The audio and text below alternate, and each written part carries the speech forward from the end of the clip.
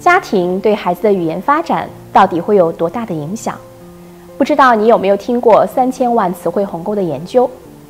二零零三年，美国堪萨斯州的两名学者进行了一项长期追踪研究，并得出了赫赫有名的三千万词汇鸿沟的研究结果。他们招募了四十二个家庭，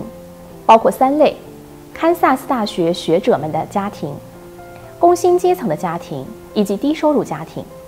从这些家庭中七到九个月的婴儿开始追踪，一直到孩子三岁，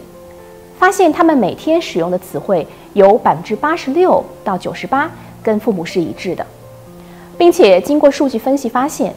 堪萨斯大学学者家庭的孩子在四岁之前要比低收入家庭的孩子多认识三千万的词汇，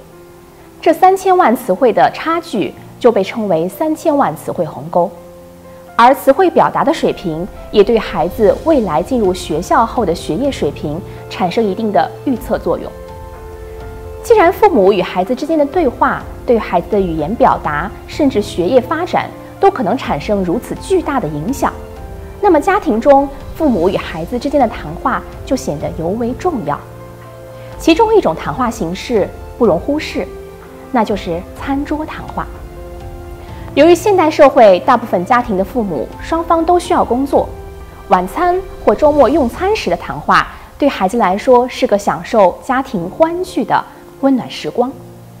这既是让一家人体会家人亲密关系的时光，更是孩子发展语言表达能力的好机会。今天就和家长朋友们分享几个有关餐桌谈话的建议。第一个建议呢，我们希望。家长可以跟孩子谈论一个轻松的话题，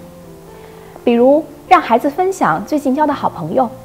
分享在幼儿园里遇到的有趣的事情，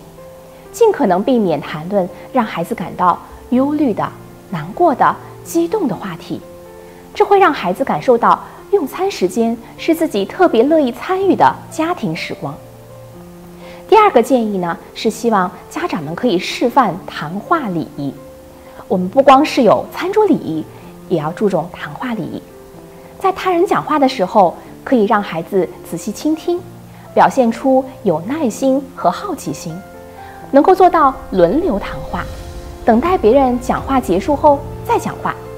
这会让孩子学习谈话中的社交礼仪，同时呢，也会通过培养倾听能力，让他们在进入小学后更容易适应。第三个建议呢，是希望。家长可以帮助孩子丰富他们的词汇，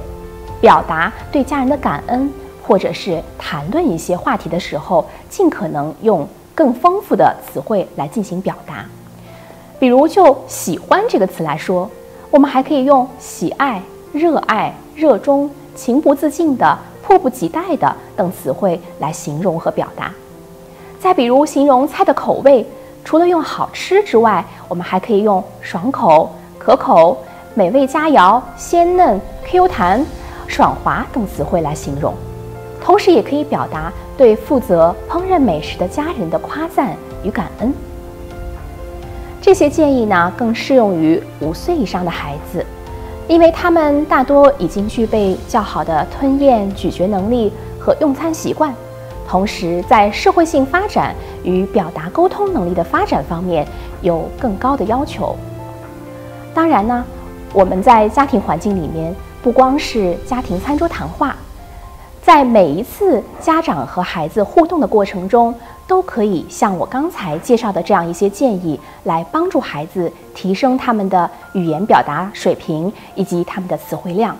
这对于孩子来说，都是一个不错的亲子交往的方式。